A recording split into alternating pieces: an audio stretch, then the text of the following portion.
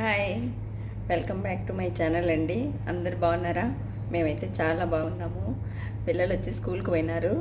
ఈరోజు వచ్చేసి full rain పడుతూ ఉందండి త్రీ డేస్ నుంచి కంటిన్యూగా రెయిన్ అనమాట ముందు వ్లాగ్లో నేను చూపించాను కదా రెయిన్ పడుతుంది అని ఈవినింగ్ వ్లాగ్లో ఆ రోజు చూపించాను. పూజా గది ప్లస్ ఆ వ్లాగ్లో చూపించాను. ఇంకా రెయిన్ వస్తూనే ఉంది. ఫుల్గా పడుతుందనమాట ఈదురుగాళ్ళు కూడా వస్తున్నాయి అనమాట దుబాయ్లో.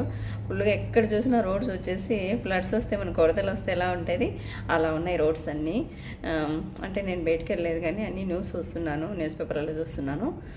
పిల్లలు వచ్చి చెప్తున్నారు అంటే స్కూల్ నుంచి వస్తూ. ఈరోజు వచ్చి బయట చూపిస్తాను చూడండి. ఇంత వర్షంలో కూడా కన్స్ట్రక్షన్ వర్క్లో పాపము వాళ్ళు లేబర్ అయితే వర్క్ చేస్తూనే ఉన్నారు పాపము. వాళ్ళను లీవ్ లేదు ఏం లేదు వాళ్ళకు పాపం అనిపిస్తుంది నాకు. అందుకే కొంచెం సూట్ చేశాను చూపిస్తాను మీకు. ఆ తర్వాత వచ్చి ఈరోజు చికెన్ టూ టైప్స్. నేను మామూలుగా రొటీన్గా ఎలా చేసుకుంటానో మీకు చూపిస్తాను షేర్ చేస్తాను మీతో. అంతేనండి వ్లాగ్లో. ఓకే అయితే చూద్దామా? ఇదైతే మీరు చూస్తుండేది నా మా బాల్కనీ నుంచి షూట్ చేస్తున్నాను అనమాట ఫుల్ రెయిన్ పడుతుందండి. మామూలుగా కొంచెం తక్కువ ఎక్కువ పెరుగుతుంది. ఇప్పుడు కాస్త తగ్గినట్లుంది. ఫుల్ అంటే హెవీ హెవీ. మన కనపరాని కూడా కనపరాదు. ఫాగ్ ఎలా ఉంటే ఎలా ఉండేదన్నమాట. ఇప్పుడు చూడండి ఇలా ఉంది. ఫుల్ ట్రాఫిక్ ఉంటుంది ఈ రోడ్డు. హైవే. ఇక్కడ చూడండి ఆ సైడ్ వచ్చి కన్స్ట్రక్షన్ వర్క్ జరుగుతూ ఉంది. పాపం లేబర్ అనమాట వర్షం అంతా పడుతుంది అనమాట మామూలు కాదనమాట నేను తీసే టైంలో కొంచెం తక్కువగానే ఉంది. ఫుల్గా పడుతుంది. అయినా కూడా క్యాప్స్ వేసుకొని మోస్ట్లీ ఇక్కడ వచ్చేసి లేబర్ అనమాట మన ఇండియన్స్ పాకిస్తానీ బంగ్లాదేశీ ఉంటారు ఎక్కువగా. వాళ్ళు వచ్చేసి ఎంత కష్టపడుతున్నారు చూడండి అసలు పాపము. గాలి అయితే చూడండి ఎలా ఉందో. మొక్కలు చూస్తే అర్థమవుతుంది కదా మీకు. బాగా ఎట్లా ఊగుతున్నాయి చూడండి. డేట్ ఫామ్ అవి ఎంత హెవీ ఉంటాయి. అట్లాంటి లీవ్సే ఊగిపోతున్నాయి అనమాట ఇంత హెవీగా ఉందన్నమాట. అయినా కూడా వాళ్ళు వర్క్ చేస్తున్నారు. నాకైతే చాలా పాపం అనిపించింది అనమాట వెళ్ళిపోయిండొచ్చు కదా. మనం చిన్నవాన పడితేనే అలా అలా లోపలికి పరిగెత్తేస్తాం అనమాట ఇలా మార్నింగ్ నుంచి నేను చూస్తున్నాను. రెండు రోజులు మూడు రోజుల నుంచి అలానే చేస్తున్నారు వర్క్ అనమాట అలా తడిచిపోతూ తడిచిపోతూనే చేస్తున్నారు. నాకైతే చాలా పాపం అనిపించిందండి. లేవరు ఎంత సుఖంగా అసలు చలి వేస్తే స్వెటర్లు వేసుకొని ఇళ్ళలో అంతా మనం ఉన్నాము. మంచి రూపు కింద రూపు కింద ఉంటూ కూడా మాకు కావాల్సినవి తింటూ అలా ఉన్నాము. వీళ్ళ పరిస్థితి చూస్తే ఇలా ఉంది అనుకున్నాను అనమాట కొంచెం అయితే కూడా దయలేదు పాపము. వాళ్ళకు లీవ్ ఇచ్చిండొచ్చు ఈరోజు సరే ఇప్పుడు కిచెన్లోకి వెళ్తున్నా నేను. ఇంకా వంట చేయడానికి ఆల్మోస్ట్ ట్వెల్వ్ థర్టీ అయిపోయింది ఆఫ్టర్నూన్. రైస్ వచ్చేసి నానబెట్టేసాను నానబెట్టేసి కాసేపు ఇంకా కడిగేసేసి ఆ తర్వాత ఇంకా నీళ్ళు వేసి రైస్ కుక్కర్లో పెడతానండి నేను ఎప్పుడు కూడా. రైసు ఈరోజు వచ్చి రైస్ చికెన్ మాత్రమే. ఇంకేం స్పెషల్స్ లేవు. ఇంకా రసం కాస్త ఉంది. నిన్నటి రసం కాస్త ఉంది. ఇంక ఇలా కొంచెం సాల్ట్ వేసేసి రైస్ కుక్కర్లో అయితే పెట్టేశాను ఆన్ చేసేసాను. ఇక్కడైతే చికెన్ తీసుకొని వచ్చినారు ఫ్రెష్గా. టూ కేజెస్ అనమాట వన్ కేజీ వచ్చేసి పెద్దలకు ఇంకొక కేజీ వచ్చేసి పిల్లలకు. టూ టై టూ టైప్స్ చేస్తాను నేను. ఒకటి స్పైసీ ఒకటి నాన్ స్పైసీ. అందుకని ఇంకా సపరేట్గా కడుగుతున్నాను. అంటే లెగ్ పీసెస్ అన్నీ ఈక్వల్గా ఉంటాయి కదా అని చెప్పేసి చూడండి. రెండు రకాలు. ఇక్కడైతే ఇంకా తీసేసుకున్నాను. ఆ రోజు నేను కొన్నాను స్టీల్ స్టీల్ వాడుతున్నాను. చాలా బాగుందండి. సూపర్గా ఉన్నాయి. ఇంకా అందరూ అంటున్నారనమాట ఐరన్ కడాయి వాడమని చెప్పేసి.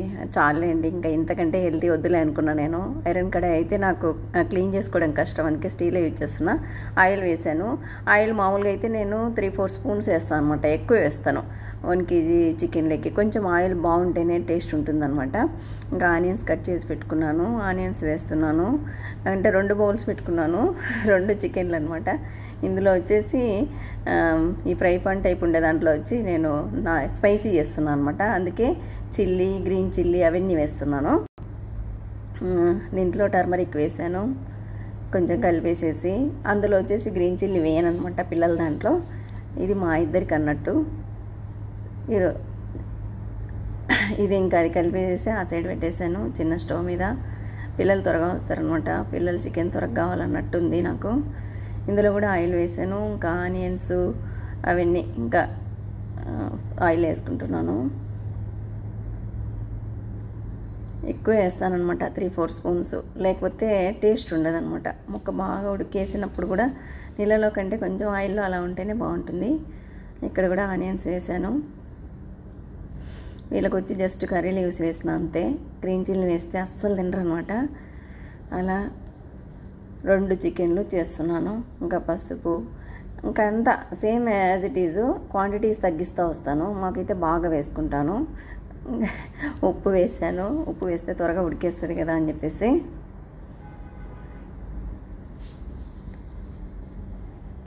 ఇంకా మూతలు పెట్టేసేసి ఉడికిస్తాను అనమాట కాసేపు.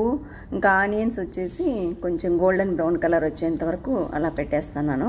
పెట్టేసిన తర్వాత ఇప్పుడు జింజర్ గార్లిక్ పేస్ట్ అయితే వేయాలా? వీటిలో రెండిట్లో వేస్తున్నాను. ఇది వచ్చేసి పిల్లలది చాలా తక్కువ వేసాను చూడండి. కొంచెం వెంటనే మాడిపోతుంది అన్నట్లు కలపెట్టుకుంటూనే ఉండాలి. మోస్ట్లీ వచ్చేసి ఏ కూరలైనా సరే కొంచెము మనసు పెట్టి వేస్తే టేస్టీగా వస్తాయండి. చాలా టేస్టీగా వస్తాయి. ఇప్పుడు వచ్చేసి రా చికెన్ వేసేస్తున్నాను. ఎంత ఫ్రెష్గా ఉంటుంది తెలుసా? చాలా బాగుంటుంది ఇక్కడ. ఇండియాలో లెక్కే ఉంటుంది. వేసి కలిపేస్తున్నాను. ఇందులో ఉప్పు సాల్టు ఇంకా అవన్నీ కొంచెం పట్టాలి కదా వాటికి. ఆనియన్ పేస్ట్ అవన్నీ కాసేపు ఉంచుతాను అనమాట అలా. ఆ తర్వాత వచ్చేసి వీటిలో కొంచెం వేస్తున్న పుదీనా కొంచెం వచ్చేసి కొత్తిమీర వేస్తున్నాను. ఎక్కువ వేయను అవి కూడా ఆకులు కనిపిస్తున్నాయి అనేసి ఏడుతూ ఉంటారనమాట సో తక్కువ వేస్తున్నాను నేను.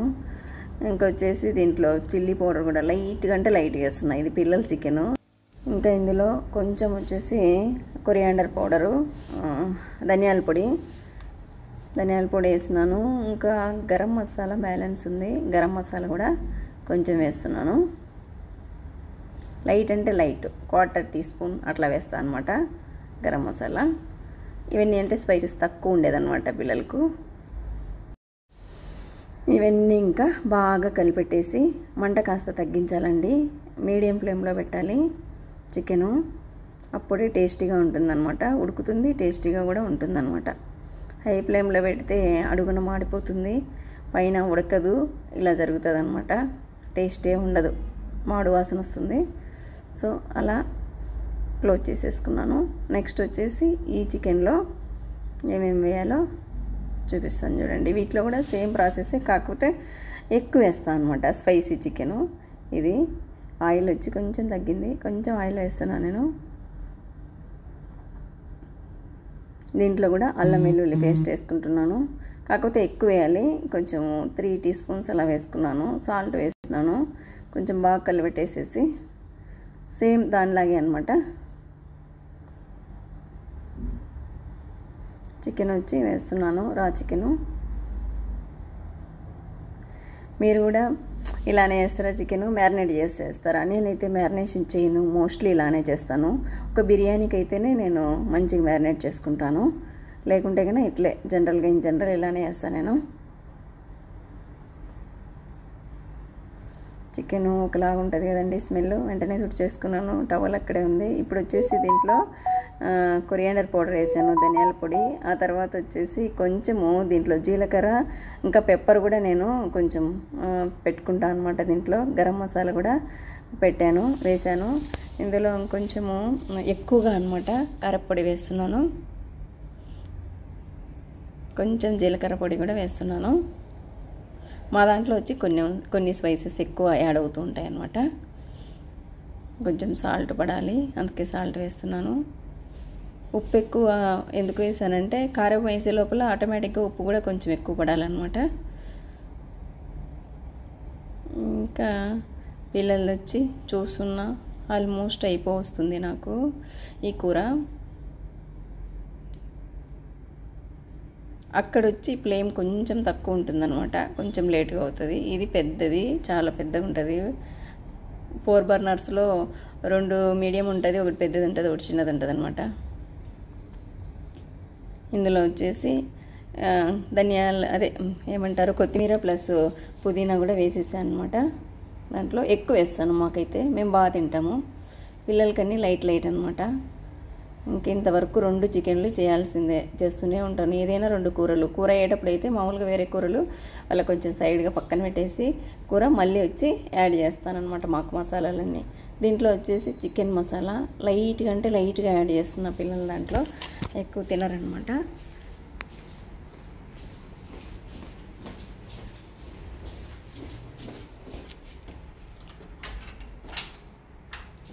అట్లా కలిపెట్టేసేసి అయిపోయింది పిల్లలది ఆల్మోస్ట్ ఇంకా ఉడకడమే అనమాట టేస్ట్ చూస్తున్నా ఉప్పు సరిపోయిందా లేదా అనేసి. సరిపోయింది ఉప్పు కూడా. ఇంకా మూత పెట్టేసేసి ఇలా ఇంకా మాది కూడా చూస్తున్నాను. అలా మనకు తక్కువ తక్కువ హాఫ్ కేజీ క్వార్టర్ కేజీ అలా ఇవ్వరనమాట ఇక్కడ రెండు కోళ్ళని అలా తీసేసుకొని ఓల్గా కట్ చేసి ఇస్తారనమాట అందుకని ఒకటైతే సరిపోదు ఇంకా రెండు అయితే ఎక్కువ అవుతాయి. కానీ నెక్స్ట్ డే తినొచ్చు కదా అన్నట్టు నేను ఇది కొంచెం ఉడకాలన్నమాట. అందుకని చేంజ్ చేస్తున్నాను ఎక్స్చేంజ్ చేస్తున్నాను. ఈ స్టవ్ నుంచి అక్కడికి ఆ స్టవ్ నుంచి ఇక్కడికి. ఇది చూడండి స్పైసీగా ఉంటేనే కదా చికెన్ బాగుంటుంది. కానీ పిల్లలు తినరు. సో బాగుంటుంది. రెయిన్ పడుతూ ఉంది ఇంకా బాగుంటుంది. దీంట్లో కూడా నేను చికెన్ మసాలా వేస్తున్నా. మాకైతే చూడండి సుమారుగా టూ టీ స్పూన్స్ పైన వేసేసాను. Chicken masala. Everest chicken masala వాడతా? నేను. నాకు అది ఇష్టమే ఇంకొకటి ప్రియా చికెన్ మసాలా కూడా ఇష్టమే. కానీ ప్రియా అప్పుడప్పుడు దొరకదనమాట చూడండి రెడ్గా ఎంత బాగుందో అస్సలు. అలా. ఆల్మోస్ట్ ఒక ట్వంటీ ట్వంటీ ఫైవ్ మినిట్స్ ఉడికిందంటే మనకు చికెన్ రెడీ అవుతుందన్నమాట. ఎమ్మి ఎమ్మి చికెను. చూద్దామా? చూడండి. ఎప్పుడైతే ఆయిల్ వచ్చి కొంచెం పైకి వస్తుంది కదా అప్పుడు మనకు ఉడికినట్లు. నేనైతే అస్సలు అంటే అసలు నీళ్ళు పోయాను. దాంట్లో ఉండే వాటర్ వల్లే ఉడకాల చికెను. టేస్టీగా ఉంటుంది. ఇంకెప్పుడన్నా పూరి అలా ఇలా చేసినప్పుడు కొంచెం గ్రేవీ కావాలి కాబట్టి వాటర్ పోస్తాను. లేదంటే పోయినా అనమాట ఈ లీవ్స్లోను ఈ చికెన్లో అన్నిట్లో ఉంటాయి కదా దానివల్లే పిల్లలది కూడా ఆల్మోస్ట్ రెడీ అయిపోయింది. సైమల్టేనియస్లీ రెండు చికెన్లు స్పైసీ నాన్ స్పైసీ అవుతున్నాయి మా ఇంట్లో. చూడండి. ఎమ్మిగా ఉంది